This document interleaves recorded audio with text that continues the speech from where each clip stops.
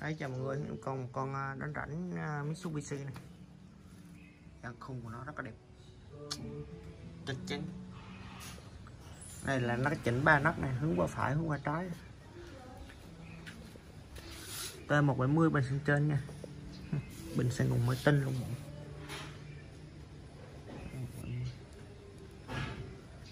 Này thì hơi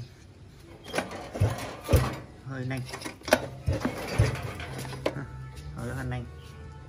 tấm lớn nha tấm lớn về mình à, lên máy phát cỏ cũng được. À, lên con phát cỏ tấm lớn cũng được. Con này à, để cho mọi người à,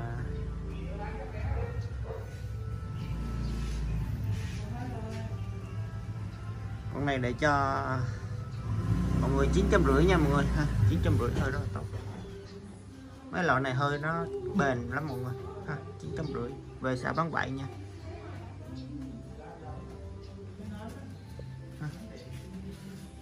Chín trăm năm mươi năm mươi nghìn nha, không bao ship nha. Ai mua thì chốt thôi. Còn có mấy con rồi nên em à, xả luôn.